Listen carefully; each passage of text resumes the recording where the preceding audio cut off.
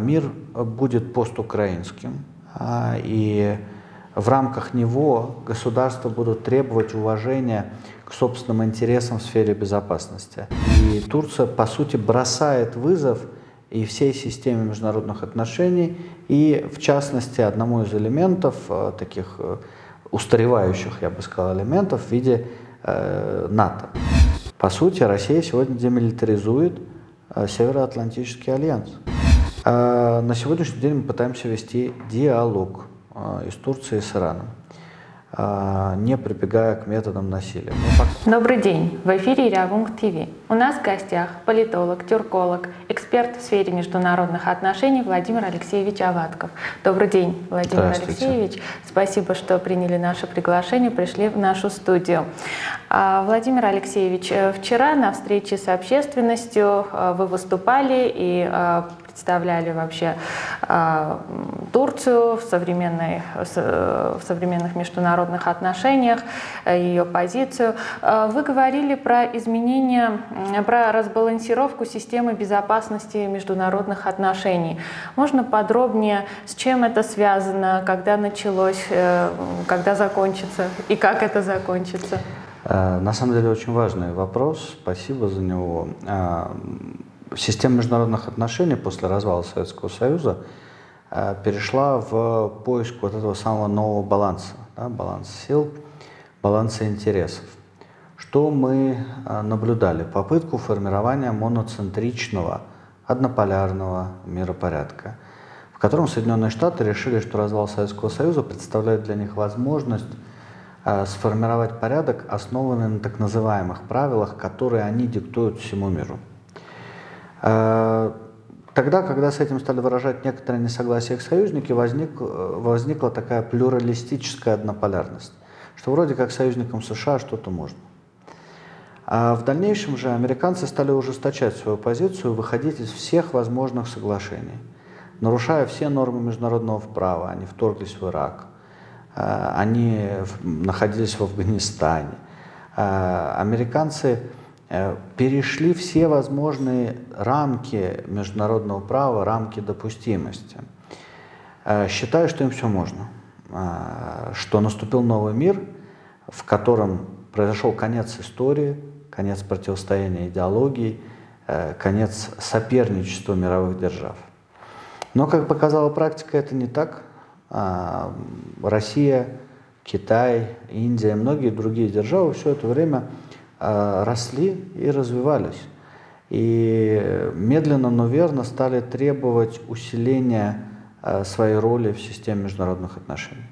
Россия никогда и не уходила из списка мировых держав и уходить оттуда не собирается. А вот страны Европы, в первую очередь Западной Европы, медленно, но верно стали превращаться в а, сателлитов Соединенных Штатов. И сегодня мы можем говорить о том, что американцы продвигают вот эту идею неоколониализма, где есть Америка и есть ее колония в виде Европы. Что самое удивительное, Европа, обладая древней своей собственной историей, э, полностью переориентировалась на США и подчинилась воле э, американского стареющего гегемона. Э, Россия всегда выступала с момента развала Советского Союза, но в первую очередь, конечно, с 2000-х годов, за построение полицентричного миропорядка. за построение порядка, основанного на международных э, нормах, на международных правилах игры, зафиксированных в рамках э, решений Совета Безопасности ООН. Но Соединенные Штаты пытаются сломать этот миропорядок э, и установить собственную гегемонию. У них это получилось, получилось в Европе, но у них это не может получиться в остальном мире. А сегодня наступает мир не Запада, который и будет диктовать на самом деле правила игры в предстоящем а, веке. Соединенные Штаты не смогут удержаться на этом пьедестале, который искусственный, а, который на самом деле навязанный и, главное, мнимый, он нереальный. Да, некоторое время картинка была важнее реальности, но сейчас реальность на Земле определяет все – а на Земле мы видим а, усиление стран не Запада в системе международных отношений. Поэтому, э, по сути, вот эти вот последние события, арабская весна, затем сирийские события, события вокруг Украины – это всего лишь триггер, триггеры трансформации системы. Мир будет постукраинским, и в рамках него государства будут требовать уважения к собственным интересам в сфере безопасности. Э, если угодно, сейчас все, будь то Китай, Россия или даже Турция, говорят о э, вопросах, связанных с обеспечением собственной безопасности. Э, вот эта вот ориентация на себя, национализация себя становится все большей нормой. Рушатся связки между государствами. Но ведь рушась, они, их разрушение предполагает формирование каких-то новых связок. И это будет самое интересное. Э, ключевой объем связок будет внутри Запада и внутри не Запада. А пропасть между ними усилиями Соединенных Штатов э, увеличивается и, по видимости, в краткосрочной перспективе будет увеличиваться дальше. Ровно до тех пор, пока Европа окончательно не потеряет все свое благосостояние и не начнет задумываться, что она пошла куда-то не туда.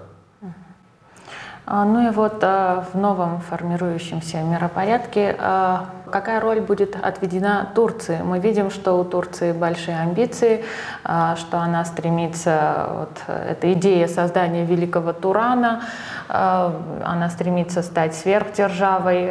Какие у нее реальные перспективы этой страны?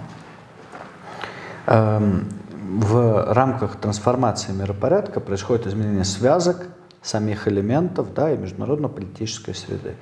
И здесь э, Турция пытается воспользоваться той благоприятной для нее атмосферой, которая создается. У нее есть шанс изменить все, что представляет собой систему вокруг нее. Во-первых, у нее есть шанс сформировать собственную подсистему международных отношений. Чем она пользуется? Пытаясь создать э, туркоцентричный тюркский мир, где она вот э, лидер тюрок, хотя тюркские государства многие открыто а, и закрыто не согласны с этим, понимая, что а, Турция намного менее тюркская держава, чем они сами. А, но Турция пытается навязать эту свою логику и сформировать туркоцентричную подсистему международных отношений. Затем есть э, у Турции возможность э, расширить связки с теми государствами, с которыми у нее их не было на фоне этого кризиса или были плохие. В частности, здесь речь идет о э, Армении, с которой Турция пытается выстроить сейчас отношения. Э, в частности, здесь идет речь о многих э, государствах, э, с которыми у Турции ранее не было таких тесных связей. Мы знаем, что Анкара открыла свою собственную базу на э, территории Катара. Мы знаем, что турецкие войска присутствуют в Ливии. В Сирии, в Ираке, вот очередная операция готовится. Турция использует эту ситуацию, чтобы увеличить собственное влияние как в регионе, так и в мире.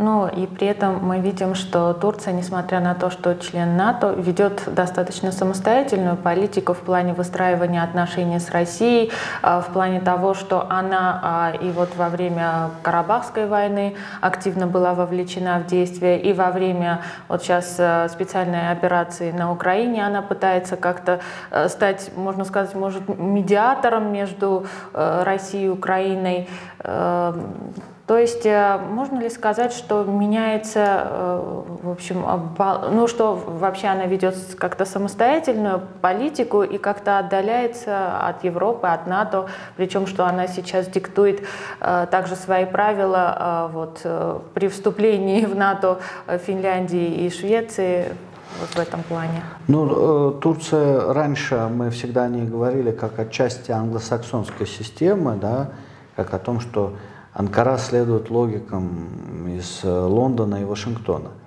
Сегодня можно говорить о том, что Турция другая. Она становится все более и более самостоятельной, туркоцентричной державой, э, преследующей собственные национальные интересы, что немаловажно, национальные ценности.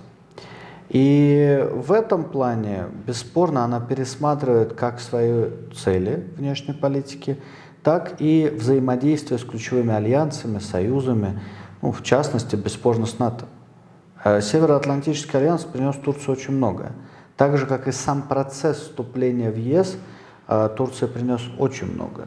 Но на сегодняшний день НАТО для Турции скорее обуза, чем возможность.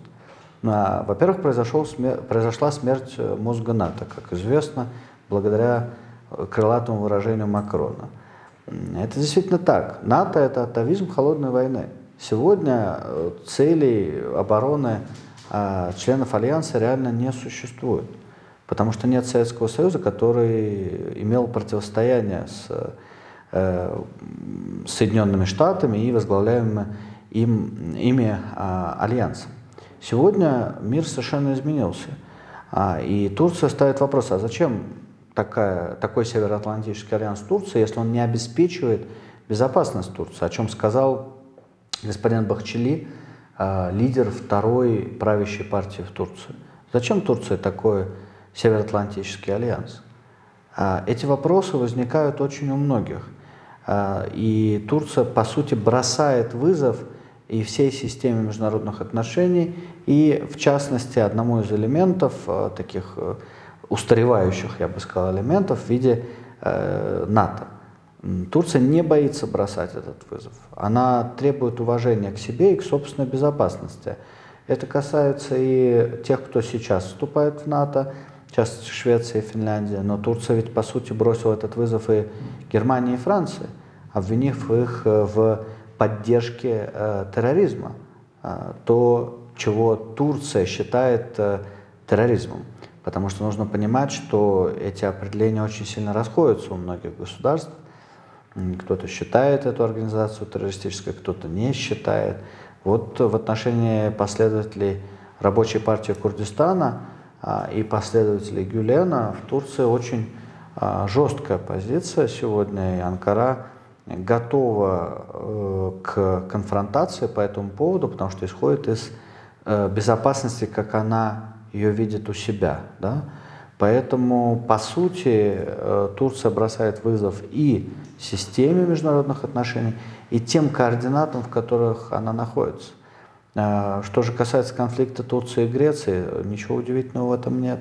Каждый год да, происходит одно и то же. Турция и Греция конфликтуют. Э, другой вопрос, что в этот раз накал очень высок, но это выгодно и греческим властям, решающим свои внутриполитические задачи, и турецким властям, э, которые также решают свои внутриполитические задачи на этом фоне. Э, насколько риск конфронтации, перерост, перерастания конфронтации в какие-то боевые действия, но этот риск есть, он был всегда, каждый год фактически, и сейчас он присутствует. Другой вопрос, что несмотря на то, что Турция обладает второй по численности армией в НАТО, она не может разорваться. А у нее есть конфликт в Ираке, где находятся ее войска, в Сирии, у нее ливийский конфликт, э, у нее часть э, ее э, военнослужащих так или иначе связана с Азербайджаном, у нее конфликт с Грецией, вот теперь ее не может хватать на все. Это тоже надо понимать. Uh-huh. А, ну вот а, вы сказали о некотором кризисе в НАТО, что НАТО как-то устарело уже как организация. Есть ли а, вообще вероятность, что в перспективе эта организация просто перестанет существовать, или мы сейчас все же видим особый интерес к этой организации, и возможно, что Турция выйдет, или она будет использовать свое членство как э, некоторый инструмент давления на эти страны, члены НАТО? Um... Во-первых, конечно, нужно понимать, что чем больше будет вопросов к НАТО с точки зрения обеспечения внутренней безопасности, э, тем больше будет тех, кто будет стремиться отдаляться от НАТО. Э, но для этого страны должны быть, э, обладать соответствующим суверенитетом. Ведь вопросы к членству Финляндии и Швеции предъявила только Турция. Это очень важно. Второй момент э, – это сама по себе организация. Э, если она не будет меняться, то она не будет иметь перспектив. Э, ну хорошо, Швеция, Финляндия, дальше что? И главное, зачем? Ведь главный вопрос не только что, а зачем. Сейчас говорят об ази азиатизации НАТО. выхода Североатлантического альянса в сторону Азии. Но это, во-первых, будет уже не Североатлантический альянс, это будет что-то другое. А во-вторых, э, конечно, Япония одна из значимых держав, но она не обладает э, фактически армией. Э, поэтому включение ее в состав НАТО нецелесообразно с точки зрения безопасности, но будет увеличивать ответственность европейцев за судьбы Японии. При том, что у Европы уже не хватает вооружений, потому что Россия а, в рамках денацификации и демилитаризации Украины, а, бывшей Украинской ССР, а, так будет точнее, успешно утилизирует вооружение Североатлантического альянса. У него просто уже не хватает этих вооружений, о чем заявляли фактически Германия и Франция. Правда, американцы тут же предлагают им купить оружие у них, но это другой вопрос. Но и в Штатах тоже возникают вопросы, как так быстро утилизируется оружие. Вот так, по сути, Россия сегодня демилитаризует э, Североатлантический альянс. Э, перспектив у него с точки зрения целеполагания практически нет. Потому что провозглашение Североатлантического альянса в качестве глобальной организации по безопасности – это смешно. Этого не допустят э, все ключевые члены не Запада. А, если мы говорим о, о том, а, каковы сами цели Североатлантического альянса, то ведь после развала СССР а, они искали эту цель, нашли в виде глобального терроризма. Но это уже не объединяет. Какая другая цель? Россия? На самом деле это может на краткий период объединять, но уже даже сейчас Макрон говорит, что от России никуда не деться – и Россия тоже часть Европы. Э, хорошо, что он это вспомнил. Но Россия всегда была и великим европейским, и великим азиатским государством. И мы вполне справимся и без э, тех, кто является частью э, американоцентричного мира. Но чем дальше будет идти история, тем больше будут европейцы, даже не лидеры, а население осознавать, что что-то пошло не так. И будут расти вопросы к НАТО будут расти вопросы к Европейскому Союзу. Мы уже это наблюдаем. И уже наблюдаем фактически раскол в виде создания каких-то э, радикальных группировок, э, иначе это не назвать, э, в виде Польши, Прибалтики и Великобритании, которые стремятся к объединению, в виде других членов Европейского Союза, которые более прагматично подходят к многим вопросам. Видим позицию Венгрии, видим позицию не входящей ну, европейской Э, державы, да, Сербия. Э, и это очень важно. Европа разная. Она уже сейчас трещит по швам на фоне очередного пакета в пакет, который они пытаются положить э, этих самых санкций. Что же касается нас, то для нас ситуация улучшается, потому что цена на энергоносители растет, внимание к России очень большое, внимательно смотрят за тем, как мы Э, реализуем наши новые вооружения, в частности кинжал, это будет увеличивать привлекательность России как страны, которая способна поставлять новейшие вооружения и создавать их, что очень важно. Ведь нас называли страной бензоколонка, а выяснилось, что мы можем создавать новейшие вооружения. Угу. И вот, э, возвращаясь э, к нашему региону, как вы охарактеризуете отношения России и Турции?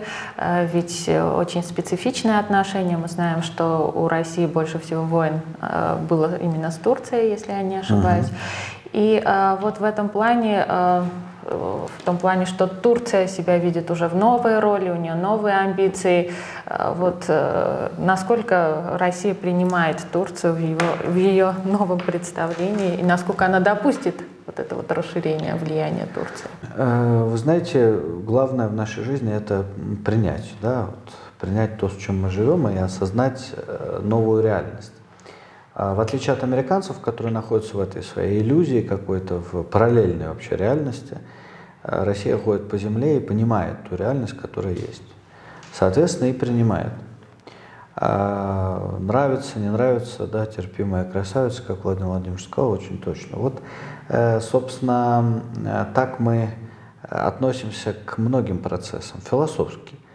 Мы с Турцией соседи были на протяжении веков. Ими нам никуда не деться от них. И нравится, не нравится, и туркам приходится терпеть какие-то действия и бездействия России, и России приходится терпеть э, те или действия или бездействия Турции.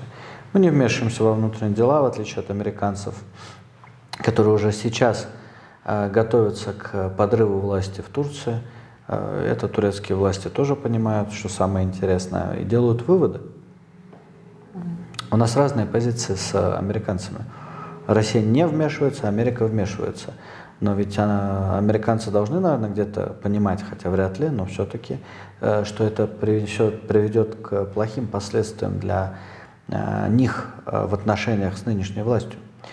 А, что же касается нас, мы смогли выстроить конструктивное взаимодействие с Анкарой, несмотря на очень большой объем пласт проблем, которые у нас существуют. А мы находим общий язык, пытаемся соотносить интересы и ценности в различных сферах – в экономике у нас есть прочный базис в виде турецкого потока, Аккую, а, голубого потока, в виде туризма, в виде поставок сельскохозяйственных э, продукций, причем не только из Турции в Россию, но и из России в Турцию.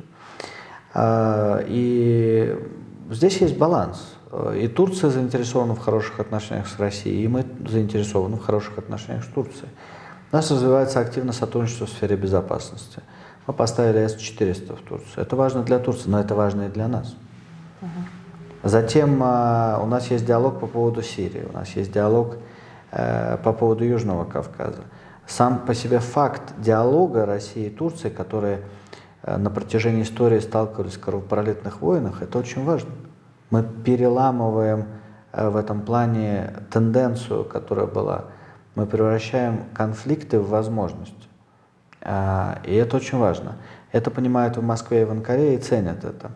Другой вопрос, что, конечно, вот эта амбициозная э, неоимперская политика Турции э, несет большие риски. Э, если угодно, есть непонимание в Анкаре соотношения амбиций и возможностей. Ведь мировая держава – это и амбиции, но это и ресурсы. И это и ответственность за судьбу мира. Вот зачастую у турецких коллег мы наблюдаем большее количество амбиций, нежели чем ресурсов и нежели чем ответственности за судьбы. Э, постепенно это должно и будет естественным образом меняться. Главное, чтобы за это время не возникло новых э, существенных э, конфликтов. Ну и кроме того, конечно, мы видим попытки Турции распространить свое влияние на э, Южном Кавказе, распространить свое влияние э, в Центральной, в Средней Азии. Мы видим попытки Анкары навязать свою волю тюркским государствам, заставив их отказаться от собственных корней и следовать э, турецким логикам как единственно верным тюркским. Все мы это видим. Э, ну, на, наверное, здесь важно привести слова пресс-секретаря президента Пескова, тюрколога, который сказал, что мы не против, как можем быть против родственности тюркских народов, ну и славянские народы, да, но только надо понимать, что звездочку надо поставить на Алтае, да, это очень точные слова, ведь именно это является местом исхода э, тюркских народов. И также нужно понимать, что Россия является великой славянской, э, великой тюркской державой, э, великой христианской, но великой мусульманской державой. И вот в этом балансе Э, Россия существует веками. А Турция этот баланс э, удержать не смогла, как известно, Османская империя развалилась, и Турция радикально ужалась до вот тех границ, которые есть сегодня. Но она пытается формировать э, туркоцентричную подсистему. Насколько у нее это будет успешно, я далеко не уверен, что и Алиев, и Такаев, и другие наши коллеги по постсоветскому пространству будут готовы э, отдать свою власть и стать частью турецкого проекта. Но это не значит, что интеграция в области культуры, образования, науки и экономики не будет продолжаться. Турки будут пытаться это делать в расчете на долгосрочную перспективу, на перспективу формирования выгодных для себя условий. Э, речь идет именно об этом. И это будет касаться и языковой политики, да, перехода на латиницу и формирования Э, единого базиса на будущее. И экономических вопросов, да, лоббизма через образование и науку. Это мы наблюдаем и внимательно смотрим э, за этими процессами. В конце концов, это суверенное государство, каждый делает свой выбор сам. Россия никогда не предлагала ассимиляции, никогда не предлагала и не навязывала свою волю. Россия отличается этим от США и отличается этим от Турции. Ну вот а, в своем стремлении распространить влияние а, на территории Южный Кавказ, Центральную Азию, это те территории, которые традиционно находились э, как-то под влиянием России, э, и даже иногда Турция замахивается уже на некоторые регионы России в своем стремлении, то есть, возможно, переоценивает как-то свои возможности и амбиции у них, конечно, большие. В этом плане, возвращаясь к Южному Кавказу, на ваш взгляд, насколько изменился э, баланс сил после э, Второй Карабахской войны э, вообще изменился ли? Здесь нужно отметить, что, конечно, традиционно влияние России было и остается сильно и на Южном Кавказе, и э, в Средней, в Центральной Азии. Другой вопрос, что это влияние может менять конфигурацию. И нужно понимать, что на том же Южном Кавказе всегда было точно так же сильное влияние Турции и Ирана. И, собственно, наши войны с Турцией и с Ираном, с Персией во многом базировались именно на столкновении интересов вот этого треугольника на территории, в том числе Южного Кавказа. А на сегодняшний день мы пытаемся вести диалог а, из Турции с Ираном, а, не прибегая к методам насилия. Мы показываем те модели, которые могут выстраиваться. Вот модель отношений России и Беларуси. Мы уважаем суверенитет Беларуси, у нас хорошие дружеские отношения и очень тесное партнерство. Другая модель – это модель в рамках э, ЕАЭС в целом. Да? А, может быть, чуть менее плотного партнерства, чем это есть в Беларуси, но открытого и честного диалога, уважения национальных интересов и поиска того, что будет нас сближать. А, ну и есть модель Украины, э, бывшая Украинская ССР. Э, собственно, каждый выбирает сам ту модель, по которой он хочет идти. Э, что касается наших турецких партнеров, то мы видим их активное усиление в Грузии, в частности в Аджаре. Видим вот их отношения тесные с Азербайджаном, это является таким базисом для них. Но это же ведь не менялось. Это так было после распада СССР, Турция так выстроила эту связку, да? А вот после Второй Карабахской войны это как-то повлияло на усиление э, Турции в регионе? Ну, я, понимаете, если смотреть глобально, да, еще раз говорю, глобально, не точечно, а глобально, то принципиальнейшим образом ничего не изменилось. Вот я сейчас пытаюсь вам это доказать. Э, Турция с 90-х годов выстроила вот эту связку через э, Грузию в отношении Азербайджана. А у России есть союзнические обязательства, союзничество с э, Арменией, да, есть ОДКБ, и есть нормальные, хорошие, прагматичные отношения с Азербайджаном. Нет фактически сегодня, к сожалению, отношений с Грузией, хотя есть попытки выстроить эту коммуникацию – Э, есть даже торговля, то есть у нас есть боржоми в Москве, да, в России есть вино грузинское, то есть попытки выстроить коммуникацию есть. Э, я бы сказал, что как раз сейчас баланс сил меняется в немножко другую сторону, потому что э, все будет зависеть от нашего выстраивания связок с Грузией. Что же касается Турции, то пока что у нее нет никаких существенных изменений. Есть увеличение ее влияние внутри Азербайджана, но оно имеет красные линии и границы в виде самой власти Алиева э, и его приближенных. Э, это граница, дальше которой турки не могут перейти. А, собственно, по итогам а, той самой войны, о которой вы говорите, ведь не турецкие миротворцы находятся там, а российские. А ведь э, турки получили только возможность наблюдать из центра наблюдения. Ну что ж, э, пусть наблюдают, но вместе с нами, конечно, да. Э, поэтому э, здесь такой важный момент, что то, что нам кажется острым, особенно отсюда, изнутри, на самом деле является одним из маленьких точечек большого-большого процесса.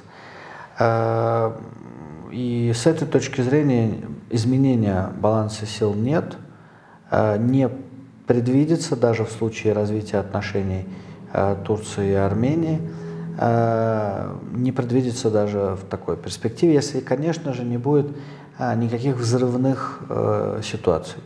Если они возникнут, на фоне ли выборов, которые предстоят в Турции, или на фоне давления Соединенных Штатов Америки, то все, конечно, может измениться. А вот э, вы упомянули в своей речи о том, о сближении Турции и Азербайджана. Мы знаем, что была подписана э, Шушинская декларация, э, и потом, там, возможно, будет, есть разговоры о размещении базы военной. Вот в этом плане можно ли говорить, что Россия, что Турция там усилила свое влияние, в то время как Россия немножко потеряла свои позиции или, или нет? Нет. А я возвращаюсь к ответу на вопрос, который я сейчас сказал. Не, нельзя об этом говорить до тех пор, пока в Азербайджане в таком объеме изучается русский язык. Нельзя об этом говорить до тех пор, пока у нас существует э, соответствующая э, декларация о союзнических отношениях между Россией и Азербайджаном. А об этом нельзя говорить, пока не будет конкретных действий в виде попытки установить эту базу. Пока мы это не увидели. Это только слова. А вот если это будет, тогда поговорим, это будет менять совершенно баланс сил. До тех пор, пока там находятся, в регионе находятся наши э, миротворцы, э, нельзя это говорить до тех пор, пока между президентом Алиевым и президентом Путиным есть хорошие отношения, а у нас есть экономические связи. Азербайджан пытается быть таким, знаете, мини-хабом. Вот Турция большой хаб, а Азербайджан мини-хаб, э, центр притяжения, сопряжения путей. У него это достаточно успешно получается, балансировать. И до тех пор, пока у него это получается, у него будут э, хорошие отношения и с э, Россией, и с э, Турцией. А, ну вот, говоря про отношения а, Турции и Армении. Сейчас идет активный процесс урегулирования этих отношений. Россия это активно приветствует, активно участвует в этих комиссиях. А, нету ли вот какой-то у России опасения, что Турция как-то придет и экономически, и культурно а, завоюет Армению. И вообще, может быть, вот как в 2010 году, когда какой-то процесс начался и потом остановился, опять этот процесс ни к чему не приведет? Или на этот раз уже откроются границы? Ну, во-первых, это во многом зависит от отношений и переговоров э, по линии Турция-Армения. Э, это суверенное дело Армении и Турции. Мы можем только это приветствовать, потому что с точки зрения интересов России ключевым интересом является мир и безопасность, особенно на Южном Кавказе. А что касается всех остальных деталей, э, которые вы сказали, это нужно прорабатывать не России и опасаться чего-то, а Армении. Э, что будет в качестве последствий открытия границ и открытия коммуникаций. Это несет много возможностей в плане деконфликтинга, снижения конфликтности. Здесь мы готовы подключиться и обеспечивать безопасность того же самого коридора, о чем шла речь. Но э, это, конечно, несет большие риски, связанные с суверенитетом, э, с возможностями Армении. Но это суверенный выбор э, Армении. И Армении нужно просчитывать риски и последствия этих действий с точки зрения российских интересов – повторюсь, принципиальным является именно меры безопасности. А, понятно. Еще вот а, вы коснулись темы выборов в Турции в следующем да. году. А, по итогам, есть ли такая вероятность, что придет более радикальная сила в Турции, более такая националистически настроенная, и что это как-то изменит политику Турции, сделает ее еще более агрессивной? Есть ли такие настроения в обществе, чтобы такая сила пришла? Э, ну, в Турции власти две партии. Партия справедливости и развития – это консервативная партия э, и партия националистического движения. А партия националистического движения – это националисты, да, они видят Турцию от моря до моря. Ну, что делать? Э, как-то же удается находить баланс на сегодняшний день. Э, оппозиция в Турции сейчас представлена шестью крупнейшими партиями, которые фактически объединили усилия и бросают вызов власти. Скорее всего, выдвинут единого кандидата на выборы, пока не выдвинули, будут бросать вызов Эрдогану. Э, у оппозиции есть много козырей. Это, конечно же, объединение светских партий, националистических партий и партий умеренно консервативных, связанных с Западом. Но все они действительно связаны с Западом. Население в Турции устраивает амбициозная, проактивная внешняя политика Эрдогана, но вызывает много вопросов, конечно, и по общению это видно, и по опросам, э, экономическая политика. Потому что сегодня, конечно, в Турции беспрецедентно высокая инфляция, 70% плюс, это серьезно. И есть недовольство экономическим положением, есть вопросы относительно будущего страны. А, и, конечно, риски связанные с трансформацией режима до или во время выборов, есть. Но речь не идет о усилении национализма. В конце концов, националистов в Турции, ну, как и, наверное, в любом государстве, порядка 10-15%. Более радикальных еще меньше. А, это свойство всех стран сегодня. Хотя мы видим рост национализма в мировой политике – и во многих странах, в частности в Турции тоже. Потому что ну, совокупно тех, кто голосует за партию националистического движения, за э, партию ИИ, хорошую партию во главе с госпожой Акшинар, э, ну и других, ну процентов 20, я думаю, есть.